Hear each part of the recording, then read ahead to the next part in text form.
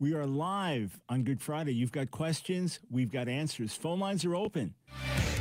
It's time for The Line of Fire with your host, biblical scholar and cultural commentator Dr. Michael Brown. Your voice for moral sanity and spiritual clarity. Call 866 34 Truth to get on The Line of Fire. And now, here's your host, Dr. Michael Brown. Thanks, friends, for joining us on the line of fire. Michael Brown, delighted to be with you. We are live. It's Good Friday, so maybe you've got the day off and you're able to call in and you normally can't call during your work schedule or school schedule. Here's the number to call 866 348 7884. Any question of any kind that relates in any way to anything we ever talk about on the line of fire, everything, anything I've spoken about, anything I've written about Phone lines are wide open 866 34 Truth. Those who differ with me, those who regularly attack and bash on YouTube or other social media forums, by all means, tell me why I'm wrong. I would love to interact with you. Before I go to the phones, and I'm going to do that very quickly, it is on the Christian calendar, the church calendar, Good Friday. Thankfully, this falls in the midst of Passover, as things would have been 2,000 years ago, as opposed to two separate holidays. Uh, last night had a wonderful time at the Museum of the Bible in D.C. My first time there. I got a quick tour and then did our Messianic Seder for Messianic Rabbi Aaron Allsbrook uh, of Ohev Yisrael in Virginia. We had about 400 people in attendance. There were a number of uh, Jewish friends that came that were not believers, maybe 20 or 30.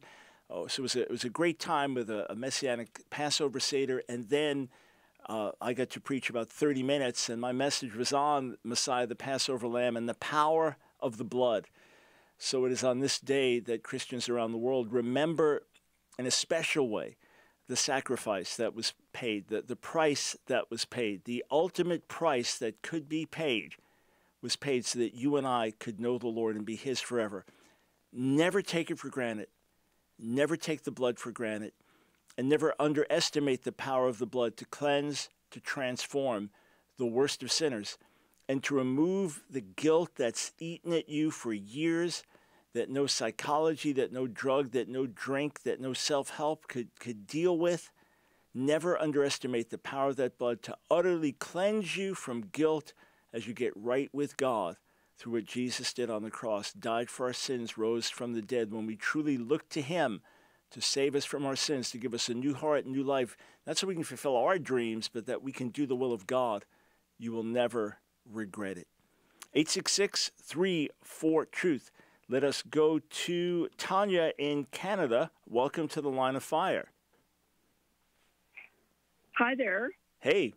Uh, this is Tanya from Calgary. Yes. Um, I, I want to know that I, I want you to know that I listen to your show regularly, and thank you for your words of wisdom. Well, thank you. Hey, listen, I'm glad that you can get us in various ways in Canada because if we were on a radio station there, we would have been censored a long time ago. Uh, things are really challenging for you folks, but keep standing strong. The church will make the difference. Yes, exactly. You're exactly right there. Um, yes, my question is about Judas.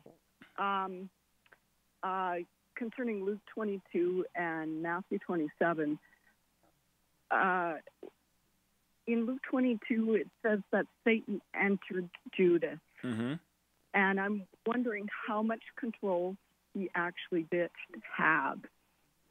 Right. So Satan does not have the power just to possess someone against their will or enter into them against their will. There has to be an open door. Otherwise, Satan would just take over one human being after another, right? And think of how many of us, before we knew the Lord, we were we were under His control in that we worshipped things that were wrong and we did things that were wrong. Uh, Second Corinthians four four calls him the god of this age. First John five nineteen says that the whole world lies under the power of the wicked one, and yet He does not just have the power to take people over on that level. Uh, Jesus refers to Judas as the son of perdition in John 17 when he's saying that he's lost none of the disciples given to him except Judas, the son of perdition, which a Hebrew idiom would mean one doomed to destruction. And then in John 6, he says, Haven't I chosen you 12, but one of you is a devil? So Satan was already heavily at work in, in Judas's life. And John reminds us that when when uh, when Judas protested about the money that was uh, about the the ointment that was being poured out on Jesus, and this could have been used for the poor, mm-hmm. that he really didn't care about the poor, but he was a thief.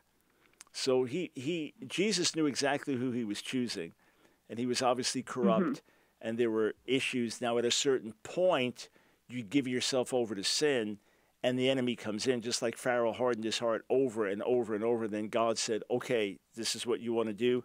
I'm going to confirm you in it." So at that point, Judas was a lost man, uh, but obviously he opened the door and gave himself to it and it wasn't it wasn't Satan working through an unwilling vessel, but Satan working through a willing vessel. Okay, I, I just have one more question. Yeah, sure.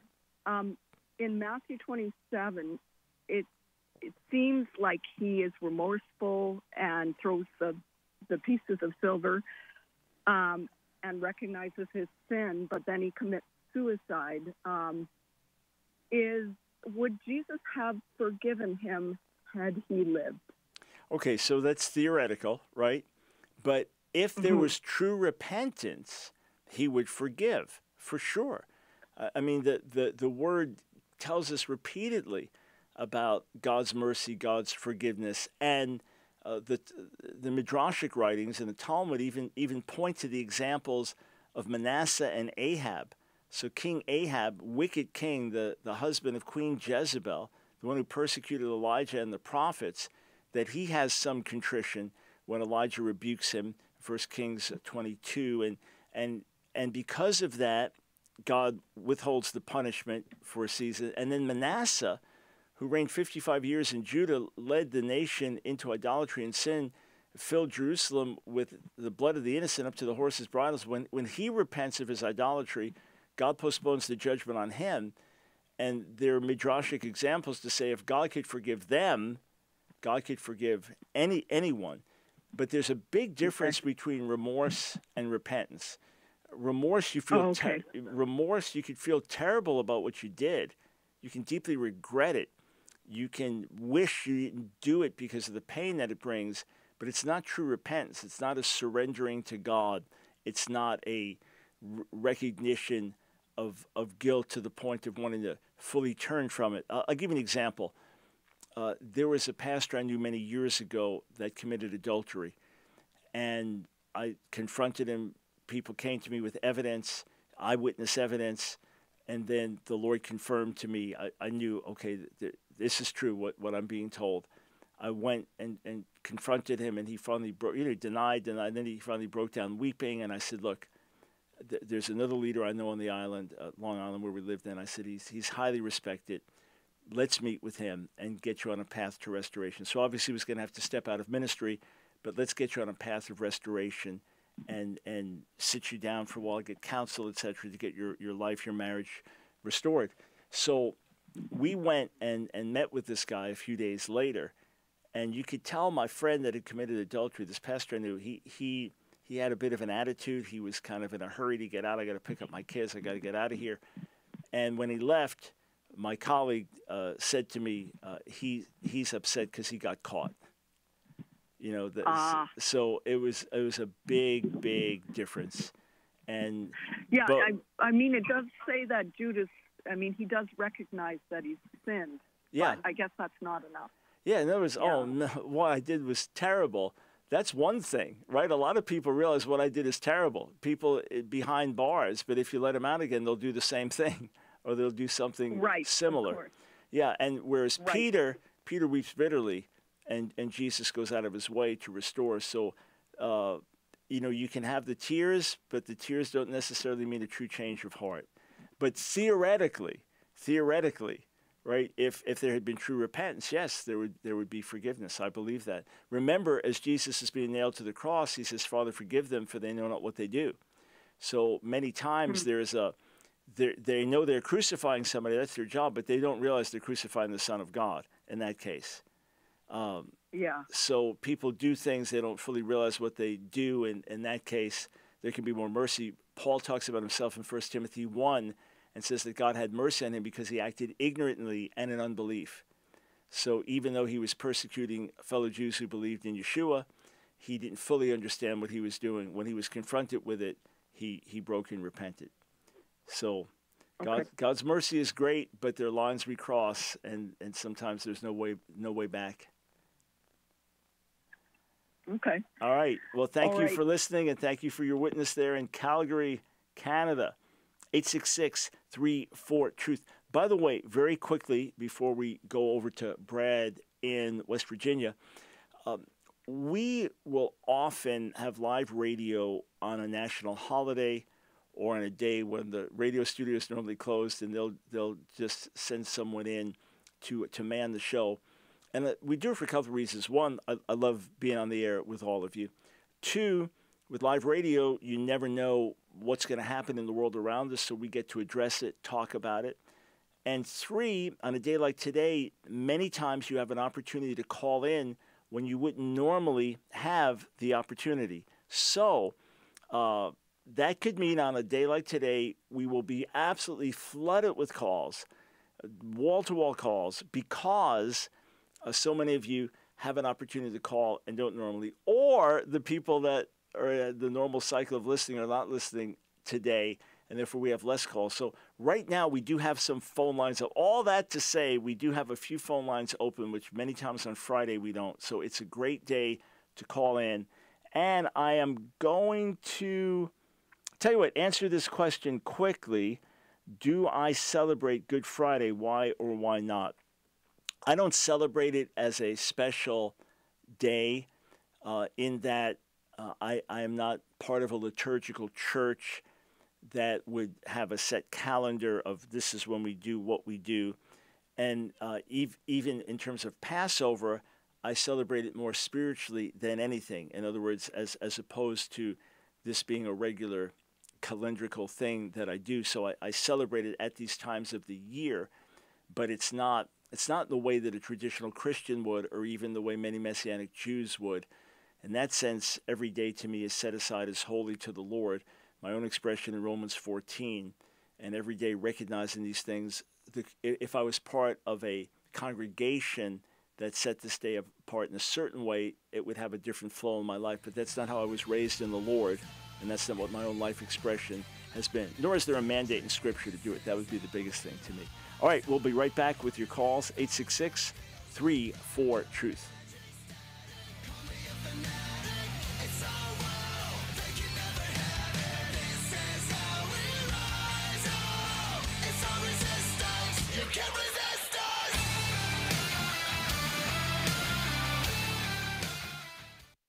Chronic inflammation is the greatest health threat to humanity.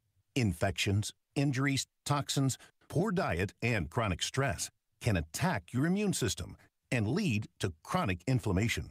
But now there's a solution you can fight this dangerous silent killer with Nopalea, made from the superfruit of the nopal cactus, containing a unique group of bioflavonoids clinically shown to reduce chronic inflammation.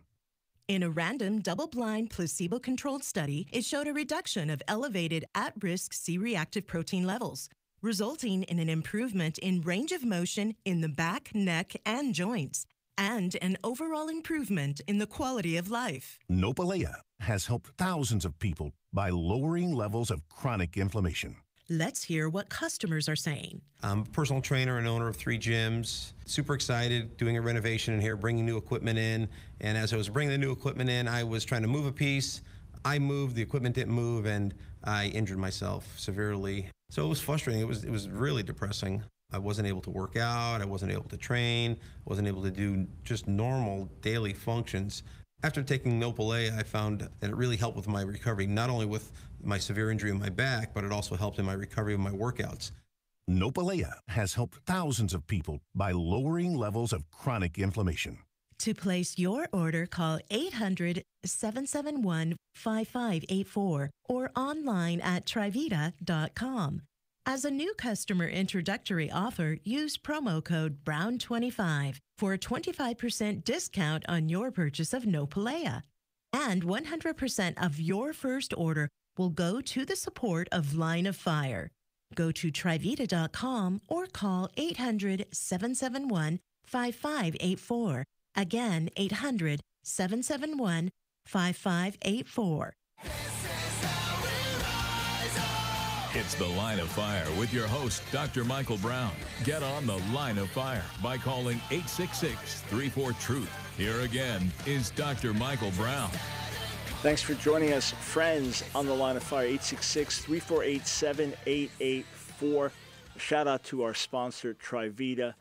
I was actually uh, thinking today as I was traveling and noticing that pain I used to have in some arthritic toes had disappeared. That, yeah, I appreciate uh, working with a sponsor that, that I personally uh, use the wellness products and and uh, that's why we share it with you. And again, we're blessed to know that 100% of your first order goes to support the line of fire. So if you're happen to be listening over a weekend, uh, many times folks are listening on podcast or, or catching the broadcast afterwards, or it airs on your station on the weekend. Just go to trivita.com. Be sure to use the code Brown25. All right, be sure to do that so you can get your discount and so that the funds can be donated 100% to the Line of Fire radio show. Let us go over to Brad in West Virginia. Welcome to the Line of Fire. Hey, Dr. Brown, how you doing again? I'm doing very well, thank you, sir. Good. Uh, question on Second Timothy: They have a form of godliness denying its power, Mm-hmm. and you know during the Brownsville revival, everything was radical.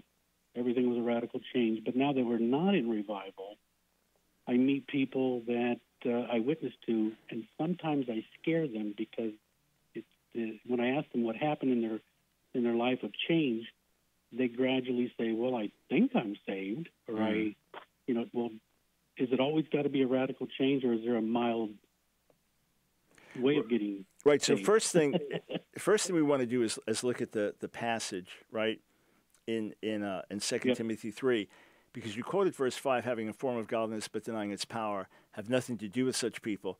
That's the end of Paul's word to Timothy. But mark this: there'll be terrible times in the last days. This is always applied. Since I first got saved, I've heard this applied to this is proof that we're living in the in the end of the age. Look at how bad things are.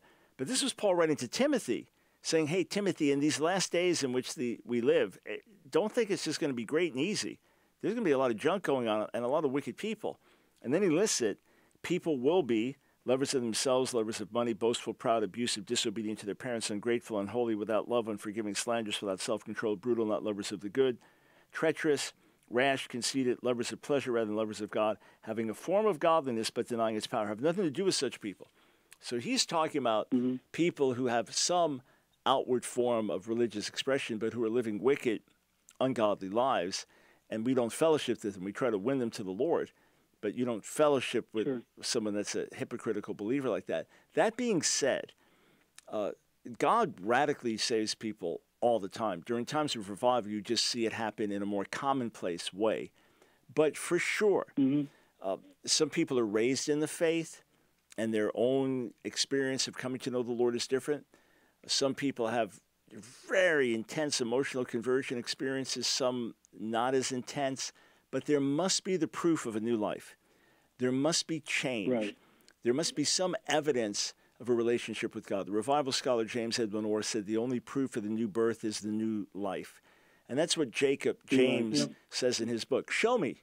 Okay, you have faith. Show me. Show me by your works. So if I meet someone that said, you know, I love Jesus, but I'm struggling in this area. I feel miserable about it. I used to just party and love the party life, but now I feel miserable, but I'm still, I still I fall back with drugs. So, okay, that's someone that's evidencing there's conviction of sin in their life. That's, that's evidencing mm-hmm. they don't want to live the way they used to live. That's the good news. Now let's, let's help them really get grounded or get free so that they can fully live as disciples. That's very different than someone say, well, you can't judge me. You know, you can't tell me I can't sleep with my girlfriend, or you, you can't you can't So tell they're me. not so. So they're not going to have the same experience I had, which was you know when you when, you, when we were at the Brownsville revival. Heck, I think I got saved every night. Yeah, well, that's so. So, the Brad, conviction was so thick. Right, right. The conviction was so thick that that you'd feel like you need to get. I mean, that's a very common thing in times of revival. People feel like they got saved all over again. But here's the point.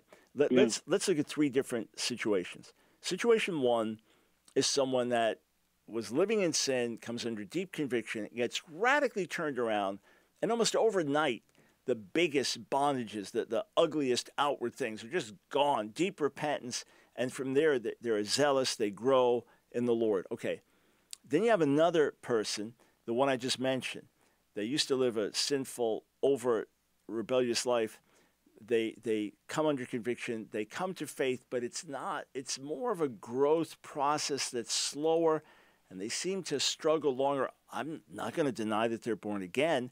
I just want to see them know the Lord more deeply so the transformation could go deeper.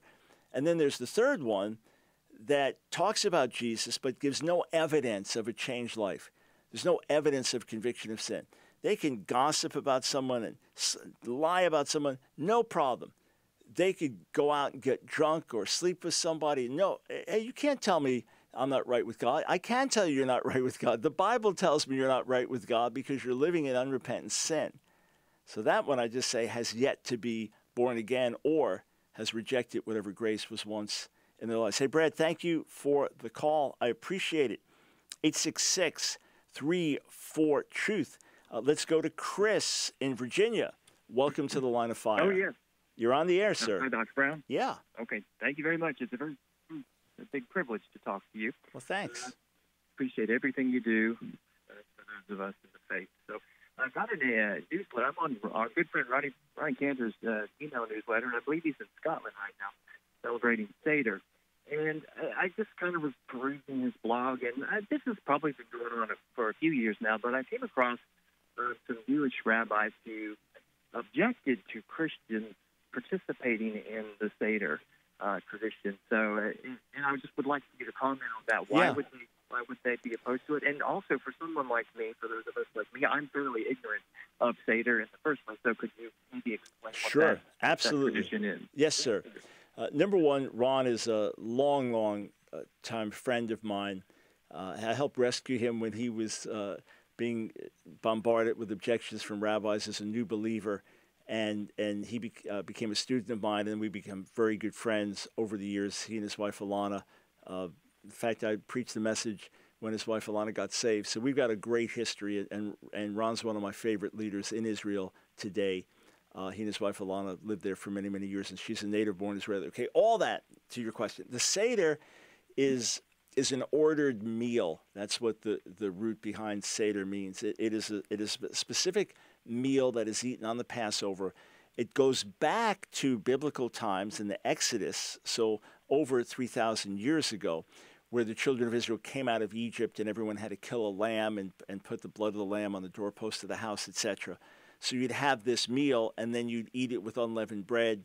So every year you'd have a meal to remember the Exodus and you'd eat certain foods so your children would say, Why do we do this? And you could bring them back to the Exodus. And then uh, over the centuries, other customs were developed, and added in with, with other symbolic things on the plate. And then, of course, the lamb was no longer slaughtered once the temple was destroyed. So, uh, Jewish families, even non traditional, will often gather at this time of the year, but it's a very important time for traditional Jews to remember the, the, the exodus from Egypt. Messianic Jews will often have a Seder and say, First, we're remembering, this is part of our heritage too. We're remembering our exodus from Egypt, but we're also remembering a greater exodus when the Messiah brought us out of bondage to sin, and he is our Passover lamb. And they would say there's some interesting elements. There's some interesting elements in the Passover Seder, and there's a debate in the Jewish community about the origin of these elements, but they're Messianic Jews who say these may have been implemented by Jewish believers and somehow became part of the Messianic Seder. Of course, traditional Jews find that preposterous.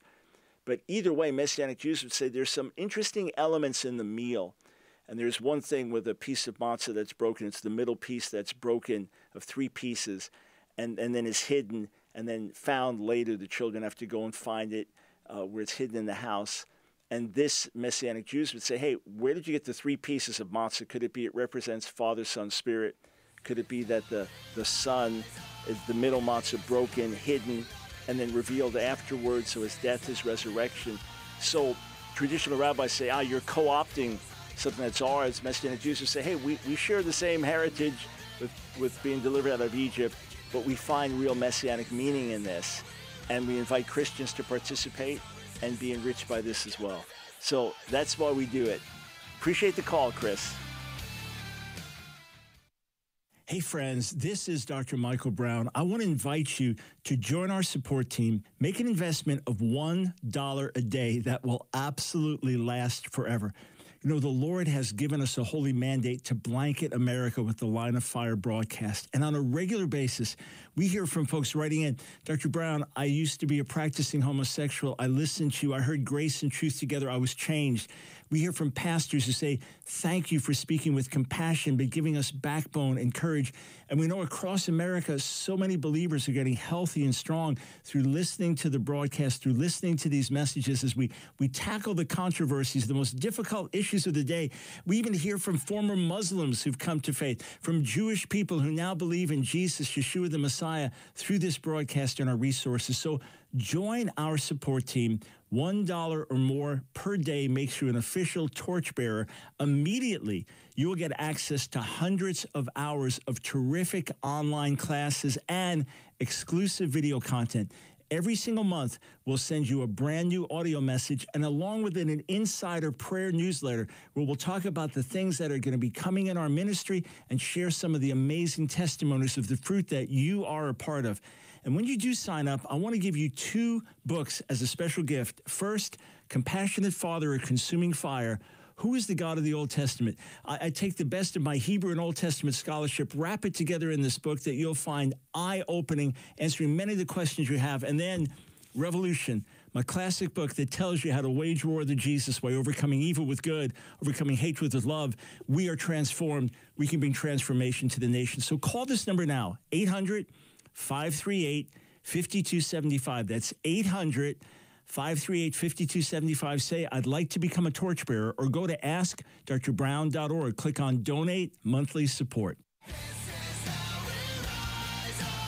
It's the Line of Fire with your host, Dr. Michael Brown. Get on the Line of Fire by calling 866 34 Truth. Here again is Dr. Michael Brown. Thanks, friends, for joining us. It was great at the Museum of the Bible to meet some folks. Shout out to Jim, who shared his testimony with me, ran from God for 68 years before the Lord radically got hold of him. It was also great to meet some torchbearers, some of our monthly supporters. And uh, it, it really brings joy to my heart to know that you get to share in the reward. All the lives get touched, all the lives that get transformed, all the people who come to faith, those who support us, who pray for us, you share in the reward. Thank you. Thank you. One more thing, then I'm going right back to the phones. I met an African American pastor last night who uh, is a pastor of a church, also loves to blow the shofar, and uh, holds his own Messianic Seder, so he's Jewish rooted as well. And he said to me, Dr. Brown, remember when you preached at such and such church? It was a Hispanic leader that had been involved with Teen Challenge for many years. And he said, he said, remember, I said, I, I heard you preach there 20 years ago. He said, and you were warning us of what was going to come with the gay agenda. And everyone thought you were crazy for saying it. So it's probably almost 20 years ago because God dropped the burden to me in 2004. And I said to him, yeah, the good news is that the same God who showed me all the crazy stuff that was going to happen in the society also showed me there's going to be a pushback. And friends, every day the pushback is growing, but let it be led by us let the government do what it needs to do and let different businesses do what they need to do to do what's right. But let change in the society be led by us because we'll do it by the Spirit. We'll do it bringing grace and truth together. And I was talking to someone that knew me from many, many years ago, 30 plus years ago, uh, friends with her, her brother in law and sister in law.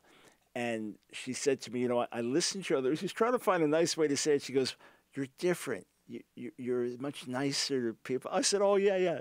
I've become a much more compassionate person. I said, if God could change me, New York Jew debater, uh, he could change anyone. So uh, it was great to meet folks. Always encouraging to hear that. Again, if you want to join our support team, we really appreciate it. And we will pour back into you the best dollar a day you could ever invest. We will pour back into you every single day. Just go to AskDrBrown.org, click donate monthly support and we want to give you a couple of free books when you do that will really be a blessing to you right out of the gate. All right, we go back to the phones over in Texas. Daniel, welcome to the line of fire. Hi, Dr. Brown. Uh, it's good to talk to you. I've called in once or twice before, a long time ago when I was in uh, Brooklyn. I used to go to Times Square Church, and uh, I met David Wilkerson once or twice. But um, it's Great. good to talk to you. Yes, good to hear from you. Yeah. So my question was in regards to uh, the Black Hebrew Israelites. Um, I heard your debate. Actually, a friend of mine who is kind of aligned with the uh, Hebrew Israelites sent me the debate. Uh, he enjoyed it a lot. so um, I think the question I get when I talk to uh, Hebrew Israelites a lot is uh, number one, I think it would be uh, what makes the movement so attractive is that over the past few hundred years, black and brown people have been uh, so incredibly oppressed. And clearly, Jews have, um, traditional Jews have also been. Uh, but maybe over the past 70 years, I think, uh, you know, um, maybe Ashkenazi or Eurocentric Jews have been incredibly, incredibly successful. I think some of my friends have been uh, so incredibly successful and smart, and just they uh, they've been very, uh, you know, just succeeded in their life. Um, whereas the maybe the brown and African American people that I know have had such a struggle. So I guess my first question would be, um, you know, according to I think biblical history, uh, usually the Jewish people would suffer when they were far from God, and they would succeed when they were under the the blessing and the presence of, uh, you know, God's Spirit moving them during the time of Solomon and David. So, what do you think is going on there? Why has why why is there such a, a rich success happening over the, the last seventy years, even say without maybe the uh, being under the divine heading of God? Yeah, you know, a, a lot of secular Jews have been incredibly successful. Yeah, it's and then my yeah go yeah. go ahead. Second question. Go ahead. Oh yeah, and then and then why do you think that uh, brown and African American or you know Latin people, African American people have been so incredibly oppressed and you know from Cortez and, and everything that happened in, in Mexico to uh, the African American people yeah. uh, that have suffered so much in sense. Yes, thanks for the questions. And uh, by the by the way, I actually took some time. I've never done this after a debate, but there was such a horrific misrepresentation of sources by by Guerrilla Hebrew, by the fellow I debated, and uh, the gentleman I debated. It, it was uh, shocking. I mean, as it was going on, I I responded to what I could, but then other things are just I mean, such either bogus internet sources or academic sources that got misrepresented, or scholars that were misquoted uh, it was shocking, and I and because everyone said, "Well, he came with sources." I'm used to an academic debate, a different style debate, where you just will either cite something or refer to it, as opposed to okay, got the you know put put something up. Okay, I've got this source, this date, etc. Because people know the the field you're referring to. There's another thing people refer to as conscious debate, which is more the way uh, Guerrilla Hebrew presented things. So people say, "Well, he came with all these sources." So well, let's if if people are seeking truth many are not. I mean, we get the ugliest, most hate-filled comments by the by the hour coming our way from from from radicals on all different sides, including among the the Hebrew Israelites. All right, but mm. uh, I, I, just thought for those seeking truth, we're actually going to do this, and it should be up pretty soon, I believe. Uh, took a lot of time and just went through it. Okay, you quote this one. Let's actually look. Let's see what it actually says. Let's see what was left out for those that are seeking truth, and hopefully it'll be an eye opener for your friend. Okay, that being said, we have to look at the overall course of history. And as Jews, we have been kicked out of country after country after country. That remains true. Uh, as, as Jews, we've suffered horrifically, often in terrible poverty, uh, often decimated in numbers, on and on and on. I mean, the, the history remains clear. And uh, levels of anti Semitism worldwide for several years now have been just as high as they were before the Holocaust. The number one group targeted for hate crimes, either religious or ethnic, in America today is Jewish people. So these things remain the same. So I, I just want to point that out first. I also want to point out that there are tremendous numbers of highly successful black Americans and brown Americans highly successful, thriving in many, many ways in the business world, in the world of media, entertainment, sports, education, be it professors, authors, political leaders, etc. Uh, that remains the, the case. Uh, and, and in terms of, if you look at larger nationalities of Hispanic peoples and things, you know, there's tremendous growth and success in so many ways. And then countries like Nigeria, you know, just growing in, in terms of, of influence worldwide and numbers. And then many Africans coming over to America in the last generation are, are often very, very highly successful. And they didn't have a lot of the, the terrible weight of the past oppression of blacks in America and how that, that just puts someone behind the eight ball. You know, for example, the average net worth of a white person today in America, just the average person is going to be much higher than the average net worth of a black person because of, of history. So that's a tragic thing. We have to continue to do what we can to, to, to bring justice and, and level the playing field as much as we can.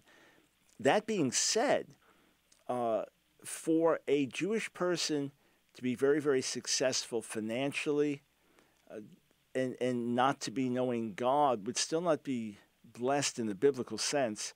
But the best I can see, because Jews have been used for good or bad, for a lot of good or a lot of bad.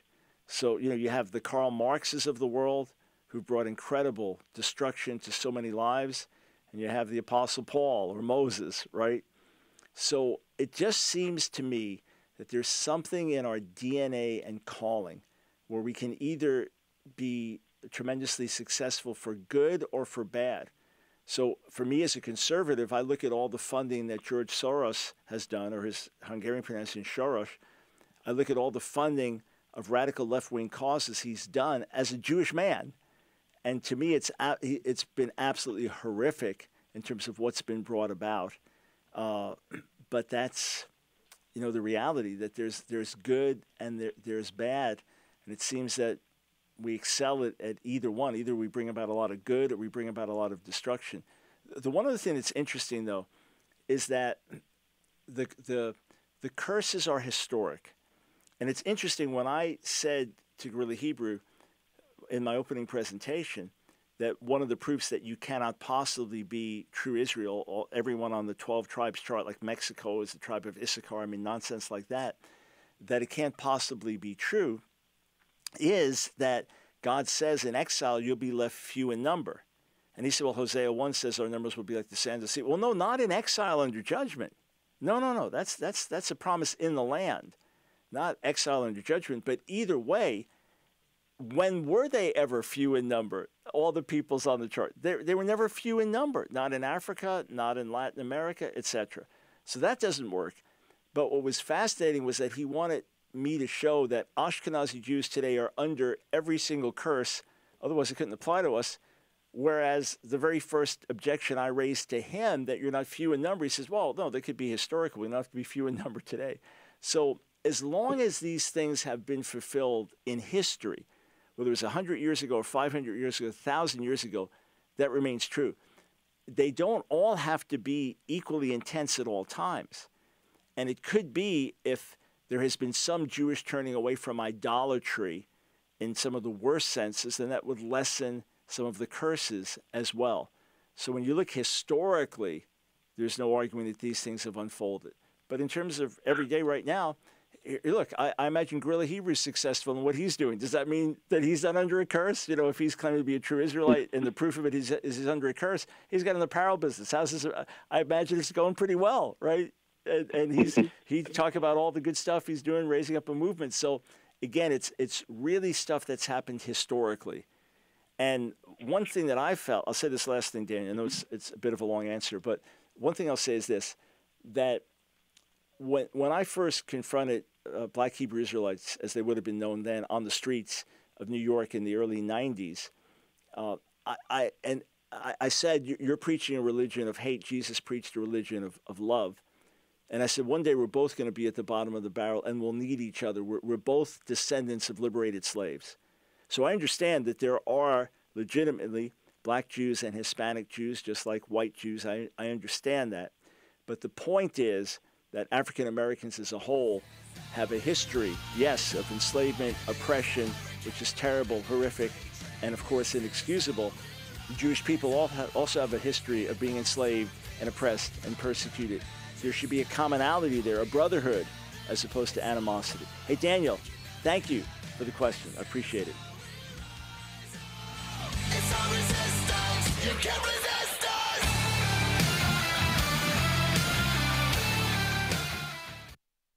Nopalea has helped thousands of people by lowering levels of chronic inflammation. I really enjoy being physical. It's something I've just always loved, but I've definitely had times where it's really crippled me up. Being a horse trainer can be pretty physically demanding with all the duties that I have, not just riding horses for a living, saddling horses, caring for the horses. I feel like Nopalea just took the edge off. And then it's it's continued to keep me from getting sore. Nopalea, it's been a huge blessing. Now there's a solution by lowering levels of chronic inflammation. Nopalea, made from the superfruit of the nopal cactus, containing a unique group of bioflavonoids clinically shown to reduce chronic inflammation. In a random, double blind, placebo controlled study, it showed a reduction of elevated at risk C reactive protein levels, resulting in an improvement in range of motion in the back, neck, and joints, and an overall improvement in the quality of life. It's fun to be on the golf course again. I'm able to swing the club freely. Hopefully, I'm hitting better golf shots.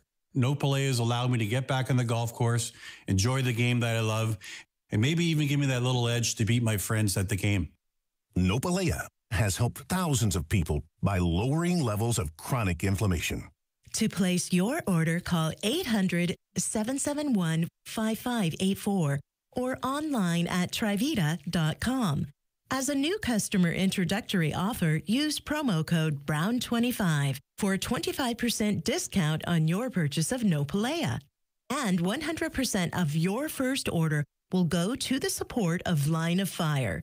Go to trivita.com or call 800 771 5584. Again, 800 771 5584. It's the Line of Fire with your host, Dr. Michael Brown. Get on the Line of Fire by calling 866 34 Truth. Here again is Dr. Michael Brown. Welcome back to the Line of Fires. We are live on Good Friday. We do have time for a few more calls, and I may field a few more YouTube questions. Uh, here's one from Ryan. Are you feeling good about young apologists answering Jewish objections? In other words, do we need many more for next generations? Uh, I feel good in that things are better than they were when I came to faith 50 plus years ago. We didn't have any of the resources available that we have today. I feel good in that many have taken material that I've put out and built on it and developed their own, uh, which is great. But I, there's a real need for more solid training. We need more people who really know Hebrew well, who uh, know the, the Hebrew Bible well, who are fervent in the Lord, who uh, have a grasp of rabbinic literature, sensitivity to Jewish objections, and some debating or apologetic skills. We do need more, and I continue to look for, for ways to train more so I could be of help in that regard. And a similar question um, from Soldier Hilaire, Dr. Michael Brown, when are you going to decimate Rabbi Tovia Singer in a debate again? Uh, I debate Tovia in a heartbeat, um, and that's been known for 30 plus years. He's refused to debate me or engage with me. Unfortunately, gave some false reasons for it. Uh, but any any time it would be a worthy debate. It would be an important one. He's an eloquent spokesman for a position that he's very wrong on. Uh, he's aggressively uh, attacks the faith of Christians Gentile Christians and puts out so much misleading information that's that's led people astray. i am always blessed when I, I see a comment that comes in on social media, Dr. Brown, I'd lost my faith because of Rabbi Tovia Singer, but found your material and have come back to the Lord. So that, that's always gratifying, but I, I would do it in a heartbeat. And Judges 13, why do you ask my name? The angel, uh, the Lord asked him, is it, uh, since it is wonderful, is that Jesus? you could make an argument that that is the Son of God appearing in earthly form. And uh, his name was not Jesus, though. In, in other words, Jesus is the name of the Son of God fully incarnating as a human being uh, in the womb of Mary, Miriam, right? That's, that is the child, the person, the mediator between God and man that we know as Jesus, Yeshua. Uh, but was that the Son of God appearing? You could make an argument uh, for that for sure. All right, let us go to Rick in North Carolina. Welcome to the line of fire. Rick, are you there? Yeah, did you say Rick? Yes, I did. You're yeah, on the yeah. air. I'm sorry, my, my my my phone broke up for a second. Uh, okay, uh, thank you, uh, Dr. Brown. Uh, first of all, uh, after my for my question is uh, any words of encouragement you can give to someone who is in a church and sometimes during worship they feel like they're outside looking in, like you know they're not like. I mean, I spend time with the Lord every day, but something here lately, corporate worship, I just, you know, uh, I just feel like I'm just outside looking in, you know, and uh, any words of encouragement or anything you could say. Yeah. Uh, So, Rick, and, and, I, and I do have some depression going on with, you know, Mm. and that doesn't help things, you know. Are you saying Uh, that the people are worshiping, but you can't enter in? I just feel like, and, and I grew up Baptist first of all, and I'm in a charismatic church, so you can imagine, you know, the way it is or the way it used to be, and uh, so uh, you know, it's just I just feel like uh, I'm just not real. Uh, I mean, I'm the kind of guy when I go to a ball game, I'm not going to be jumping up and down, hooping and Yeah. hollering too. Okay, Well, the so I'm key- kind yeah, of reserved so- to start with. The first thing is don't compare yourself to anybody else, right? God's looking at your heart, and you know, let's say you have a bunch of grandkids and they they're all over the house for the holidays. You're not comparing. Well, this one's this this one sits in my lap this way. This one, you know, it's those are grandkids. You love them, and you're just happy to be around mm-hmm. them. So. God loves being with his people, and he's looking at your heart, not the outward expression. So, first thing is don't compare yourself to anybody else, and don't ask yourself, well, what's this person feeling and I'm not feeling? Don't even think of that. And just from your heart say, Lord, I love you. And even though I feel like I'm going through the motions, I feel like I'm just singing empty words, you know my heart. You know that I mean it. You know that I love you. You know that I'm serious about this. As as you do that, things will click. You, you will begin to see change come. And and I would also meditate on his promises that in his presence is fullness of joy. Uh, Psalm 16, that the joy of the Lord is our strength. Nehemiah 8. And I would take that as a as an opportunity just to to be with the Lord and say, Lord, there's joy in your presence. You know the depression I'm struggling with, the issues that are weighing on me.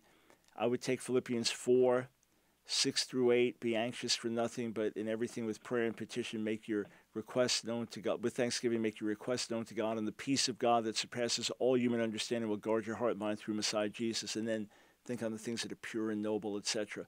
So many a time, I'll, I'll feel burdened. Rick, I'll feel weighed down. Uh, and I'll just go to the Lord and say, Lord, I got this on my mind. I got that on my mind. I got all these projects to do, and I don't know how I'm going to have time to do them. And, and I feel a little overwhelmed. And then when I'm done talking to Him, I feel great. Even though nothing's changed in the circumstances, and I still have this kind of mountain to climb, right? I've, the burden's been given over to Him. And if you just continue to honor the Lord in worship, you will sense His presence more. It's like when you look for the feelings, you're not going to get feelings. When you just say, Lord, I'm going to worship you, this is my act. This is my act of sacrifice. This Yeah. is my act of adoration. And the less I feel it, the more it's my sacrifice given up to you. Then he'll he'll make his love known to you in a way that's tangible. Yeah, yeah. Thank you. Uh, and, and my question is, and this this will be quick. Uh, speaking in tongues, I believe in tongues. I believe in the gifts and everything. Uh, but it's a, I, I have a problem with uh, when when a pastor is on stage and he's got the microphone, he starts speaking in tongues, even when he's praying, and because I don't know what he's saying, you know. And, Yeah, uh, yeah. I know Paul says if you got an interpreter, and, and then also there was a guy, and everything's uh, genuine. I don't doubt uh, this body, whatever. Uh, but he's praying over a bunch of small children and, and and baptizing them all in the Holy Spirit, which I believe in. Then he says, "Oh, you know, you're going to be speaking in tongues and all this." And this is little children. I and I kind of and I'm trying not to be judgmental, but I feel like that was manipulation. I felt like it was, you know. Yeah, I well, mean, Rick, here, here's the thing. Small if, kids. yeah, and- here, here's here's the thing.